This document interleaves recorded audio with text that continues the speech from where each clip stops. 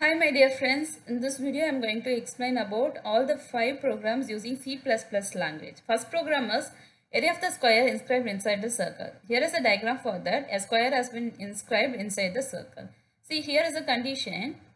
Diameter of the circle is equal to diagonal of the square. Using that condition, we are having the formula d is equal to root 2 into a. No? Using Pythagoras theorem, we are having d is equal to root 2 into a. We are having a here.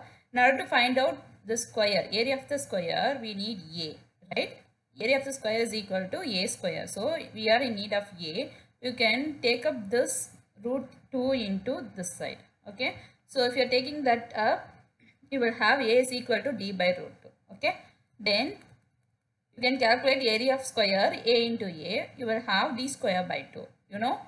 Diameter is equal to 2 r substitute that final answer will be 2 into r square. We are just going to program it using c++ language. You can see here this is the program for area of the square inscribed inside inside the circle okay?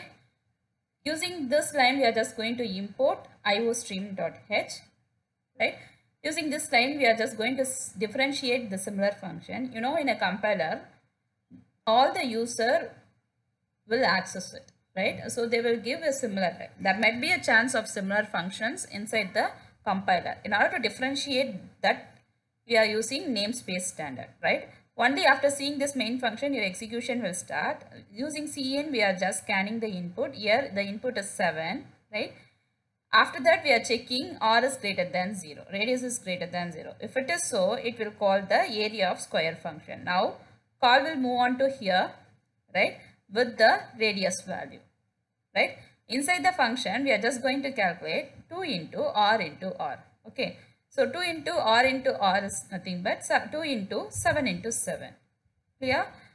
It is 98. Now, it will return the value 98 and it will be printed here, okay? If, if the condition becomes false, it will execute the else condition. It will print enter the positive value. So, this is your first program. Second program is checking whether the square root of a first number is equal to cube root of a second number. For that we are using square root and cube root function. See this is the program which has been executed successfully by one of our viewer and she got 80 marks. Right. See if you are not uh, able to use uh, the program exactly without inbuilt function don't worry about it. Right. If you are able to execute all the five, four programs it is enough for passing. Okay. Right see only after seeing the main function your execution will start. Here we are declaring four variables. So in a first two variables we will get the inputs. In n your first number will be stored. In i your second number will be stored. Here i am giving 16 and 64 as a input. So 16 is the first number and 64 is the second number. After getting the input in a x using a x we are just going to calculate square root of n square root of 16 here right? So square root of 16 is 4 and y is equal to cube root of 64 you know? Cube root of 64 is also 4 right? Then using the if condition we are just going to check x is equal to is equal to y. Now the value will be 4 is equal to is equal to 4 it will print 1 here we are getting the output 1 right? Else if the condition becomes false it will print 0 this is your second program. Okay. And third program is multiplication of a given number of given length. Right. Only after seeing the main function, your execution will start. Here is the variable declaration. We are getting two values. One is the number of multiples. Right. C and L is for getting the length. I am here giving 7 and 10. Right. So, it is printing 7th, the multiples of 7 up till 10 okay? Up to 70 it is printing. So how it is printing in the sense using the for loop. See for i is equal to 1 it will print 7 into i. Uh, that is 7 into 1 so 7 will be printed. Till 10 it will execute the loop and it will print the multiplication table. So for this program also she got 100 100 marks. See there in the question it has been clearly mentioned that use use the function. But if you use this coding you will get a 100 mark. I am having the proof for that right? And then fourth program is string swapping right? You can see two variables has been declared string 1 and string 2 right? I'm just getting those two input. You can see nelson mandela are two strings right? After that string copy of temp comma string 1 see i am going to execute it for you. Initially string copy. In a first string copy statement we are just going to copy string 1 to temporary variable. Now in a temporary variable you will have first string. First string we are giving us nelson right? Next in a second string copy we are just going to copy second string and we are just going to assign that string to string 1 right? Now second string is mandela okay? And in a third string copy we are just going to assign temporary variable to string 2 you can see temp variable is nelson right now string 1 is mandela and string 2 is nelson your strings are swapped you can see here Nelson Mandela is the input I am giving after swapping Mandela and Nelson. So here Mandela is the first string and Nelson is the second string. Your strings are swapped, right? So this is your swapping of strings program. Last program is uh, right Armstrong number or not. We are just getting a number. Here I am giving the number as 153, right? After giving the number, I am just assigning that to temporary variable. Let me quickly explain how it executes. Okay, so now I am just assigning n to temporary variable. What is n value? Temp is equal to 153, right?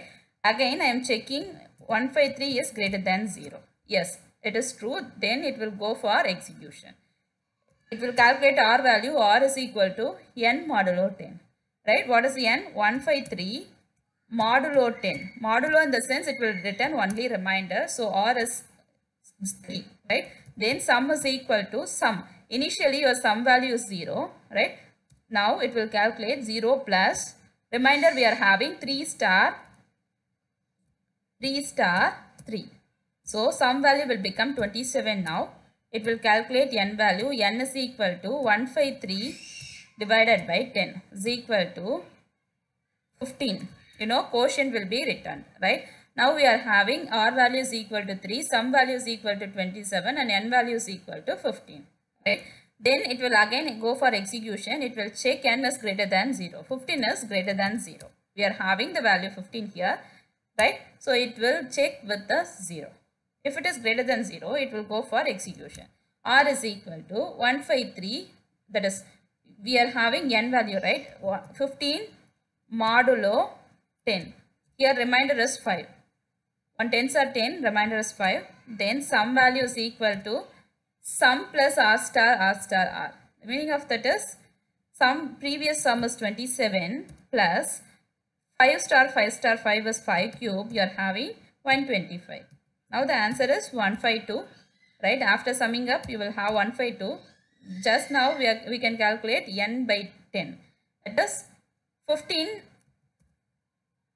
by 10 right so here you it will return the quotient so you will have 1 okay now it will go for checking the condition and 1 is greater than 0 1 is greater than 0 definitely right so it will calculate r is equal to r is equal to 1 modulo 10 you know in 1 modulo 10 remainder will be 1 same so sum is equal to sum previous sum was 152 plus r value is 1 now you will have 153.